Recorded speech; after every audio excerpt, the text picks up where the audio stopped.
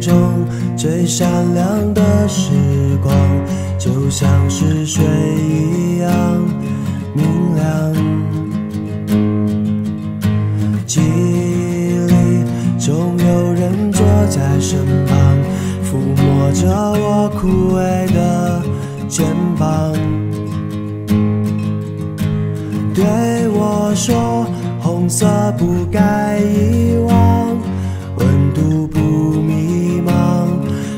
想不倔强。不要对我说红色不该遗忘。温度不迷茫，方向不倔强。对我说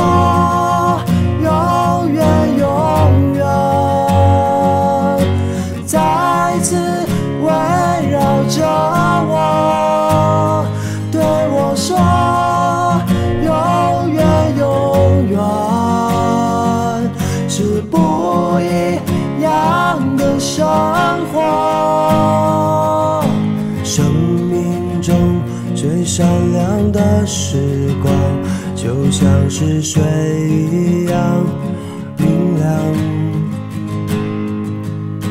记忆里总有人坐在身旁，抚摸着我枯萎的肩膀，对我说：“红色不该遗忘，温度不迷茫，方向不倔强。”不要对我说红色不该遗忘，温度不迷茫，方向不倔强。对我说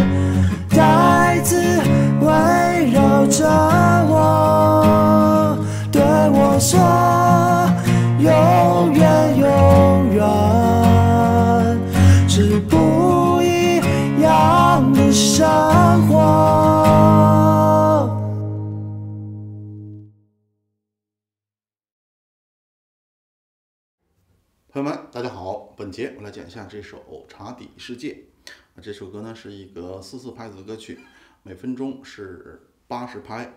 呃，我们用这个 C 调的指法，啊，变调夹加一品，实际音高呢是升 C 调。啊，这首歌的和弦呢其实只有四个，比较简单。大家呃看乐谱上面有八个，是因为呃有另外四个呢是跟这四和弦实际上是一样的性质。啊，前面的部分呢用了这种五和弦来伴奏，比如这个 AM 和弦通常是这样的，但是在歌曲开头的时候会用这种呃五和弦。我们呃在这里面演示这个一五八度，就是六弦、五弦和四弦。对于这个 A 这个级数的和弦来讲是这样的，然后 F 级数是这样的。然后 C 和弦需要这个换琴弦，因为低音是五弦的三品，这个时候需要用这个食指按五弦，三品的时候呢给六弦制音，这样的话你扫起来才不会有，才不会有这种很浑的声音，这样的，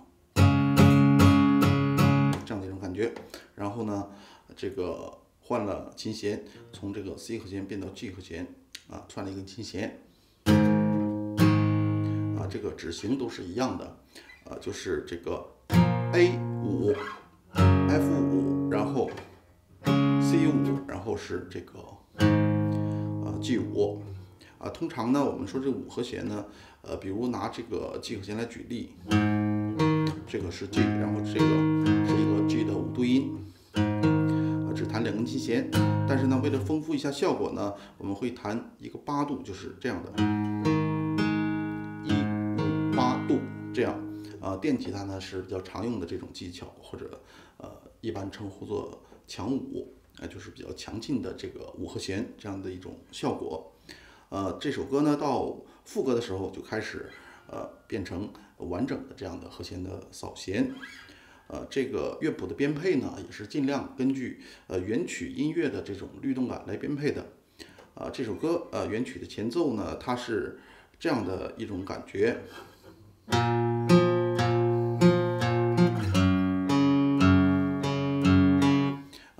开始前奏是这样的，然后呢，这首歌的原曲在进入唱的时候，实际上也是这样弹的。但是如果我们到最后呢，我们吉他弹唱只有一把吉他的话呢，会显得比较单调。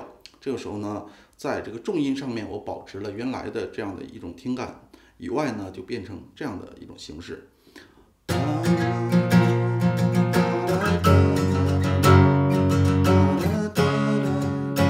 变成呃这个还是一五八度。但是呢，呃，这个就和前面的前奏有一点区别，就不是这样。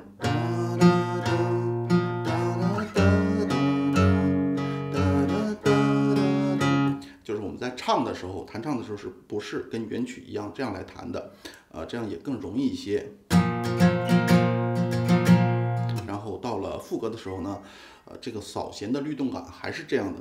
但是我们扫了完整的琴弦，这个时候呢，这个 A，比如这个 A 的强五和弦，就变成了这个 AM，然后 F，强五是这样的，然后完整的就是这样的，F 的大横按，然后 C 和弦，啊，强五的 C 是这样的，因为这个强五和弦的指型呢都是一样的，然后 C 和弦我们这样，接下来 G 和弦，实际上呢就是四个和弦。只是在这个左手的按法上面有些区别，呃，看起来像是八个。这首歌呢，从前到后基本上就是这几个和弦，大家只要掌握了这种右手的运动规律，实际上这首歌从头至尾就可以完整的下来了。啊，具体呢，请朋友们参考乐谱。啊，这里面我再慢一点来讲一下这个主歌开始的时候，呃，就是第一段的主歌，这里面呃伴奏时候的这种右手的强五的这种音型。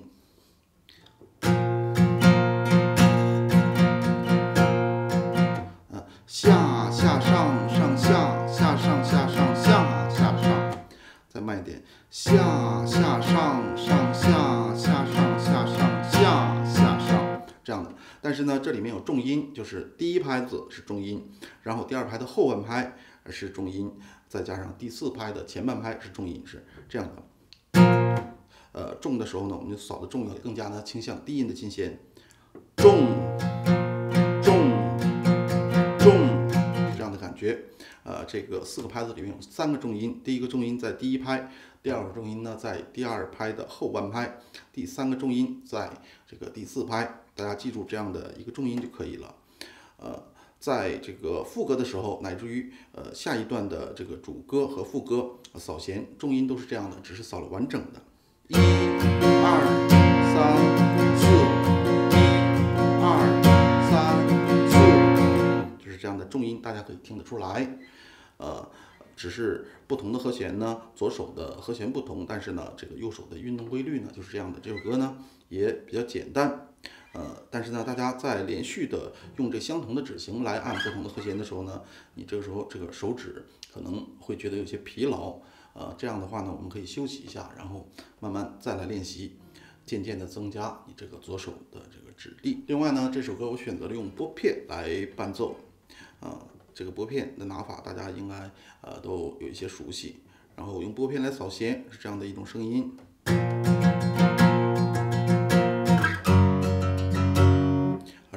全扫和弦的话呢，听起来这个拨片的声音也会呃声音比较统一。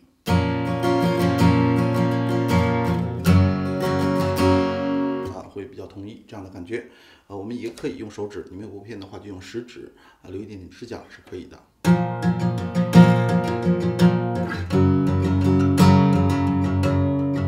啊，就是完全扫的话，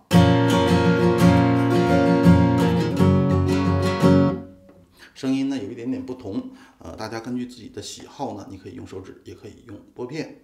好的，朋友们，本节呢我们就到这里，下节再见。